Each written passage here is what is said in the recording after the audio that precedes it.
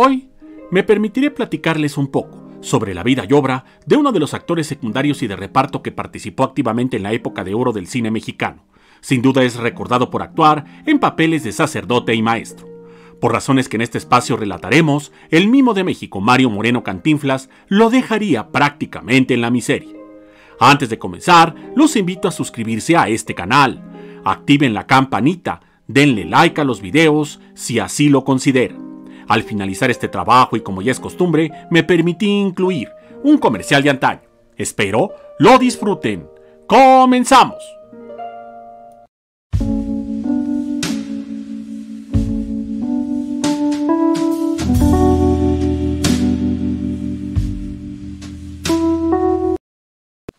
Carlos Martínez Baena nace en Madrid, España, un 7 de mayo de 1889.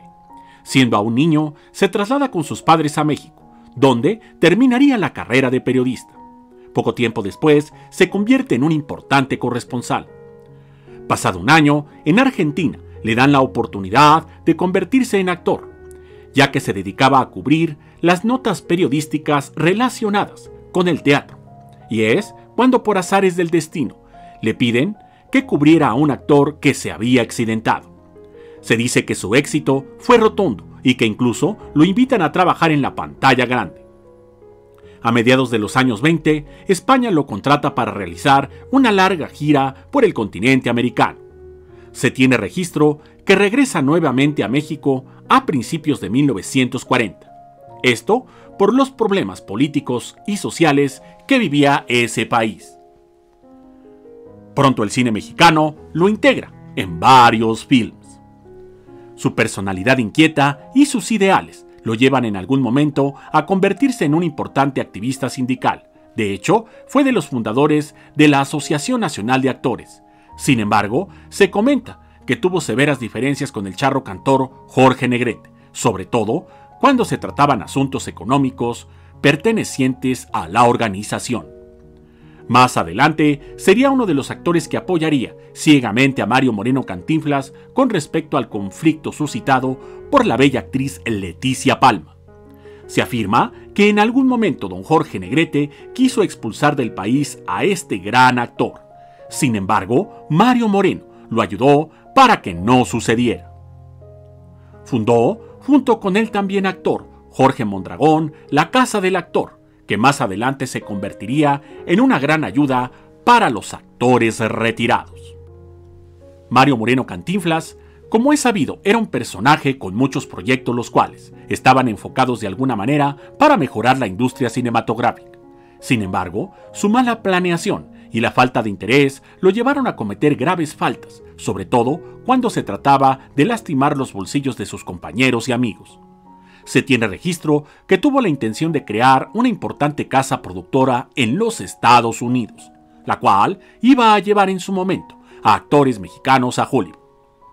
Sin embargo, este proyecto requería grandes cantidades de dinero, situación que lo obliga a pedir apoyo económico a su entonces pareja sentimental, Charito Granados, y precisamente a este gran actor, Don Carlos, el cual se manifestó como su principal apoyo. De hecho, él pidió dinero al banco para iniciar la construcción de la famosa casa productora. Lamentablemente Mario Moreno, al ver que el proyecto requería más dinero, decidió terminar con el mismo. Esto, claro, por asesoría de varios abogados estadounidenses. Acto seguido, se reunió con don Carlos y le comentó que el proyecto no era viable y que se cancelaba toda actividad sin embargo, don Carlos le comenta que él estaba endeudado con el banco. Acto seguido, Cantinflas le da a entender que eran los riesgos de los negocios y que no había más que hacer. Carlos Bravo, el famoso periodista, en una de sus tantas notas periodísticas afirmó que Carlos Martínez quedó en la ruina, pues el banco se cobró con su única casa ubicada en la colonia Santa María la Ribera. Lamentablemente, tuvo que seguir trabajando hasta los 80 años de edad. Este gran actor pierde la vida un 29 de mayo de 1971 a causa de una terrible neumonía. Muchas gracias y hasta la próxima. De antes de empacarse, los jugos y néctares verdes ya están que se antojan, porque están elaborados con las mejores frutas de exportación y se empacan con los métodos más modernos para conservar su sabor y su frescura naturales que tanto se apetecen. Sírvalos. Con toda confianza, es Cerdes. ¿Qué tanto sabes de las películas de Pedro Infante? Recuerda que tienes 5 segundos para contestar. Espero que disfrutes este ejercicio. Sin más, comenzamos. Pregunta número 1. ¿Cuántas películas tiene Pedro Infante en su haber?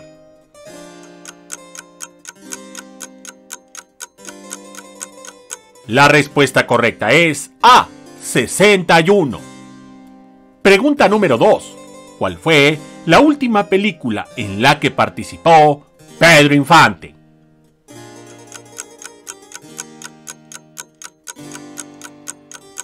La respuesta correcta es A.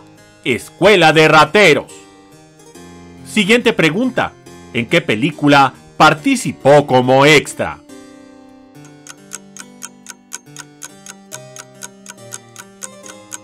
La respuesta correcta es A.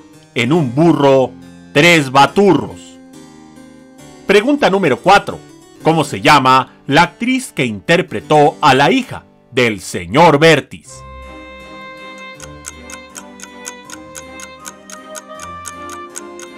La respuesta correcta es C. Liliana Durán. Pregunta número 5. ¿Quién dirigió la película Angelitos Negros?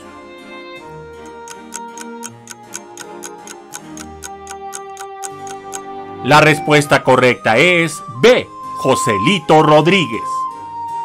Siguiente pregunta. ¿Cómo se llama el personaje que interpretó Pedro en la película Un Rincón, cerca del cielo.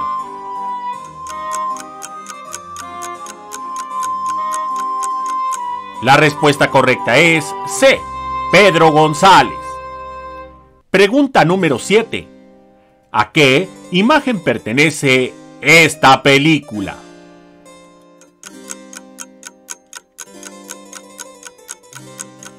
La respuesta correcta es ¿qué te ha dado esa mujer? Siguiente pregunta. ¿En qué película comparten escena Pedro Infante y Tintán?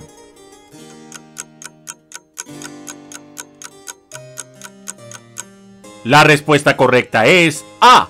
También de dolor se canta. Pregunta número 9. En esta imagen, ¿quién es la persona que está con Pedro?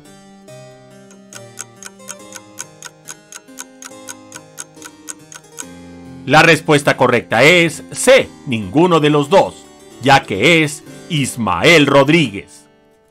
Pregunta número 10. ¿Cuántos premios Ariel ganó Pedro Infante?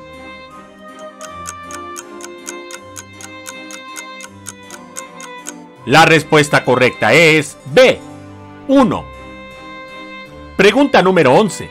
¿Con qué película ganó el único premio Ariel Pedro Infante.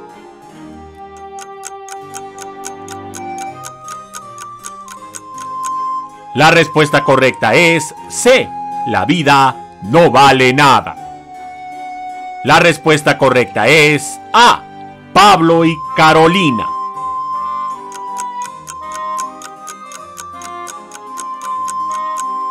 La respuesta correcta es A.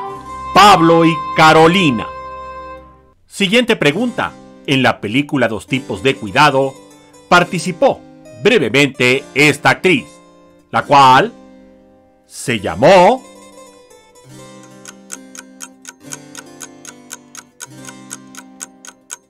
La respuesta correcta es B. Leonor Gómez. Última pregunta. ¿Cómo se llamó este personaje que influyó sobremanera en la vida de Pedro Infante.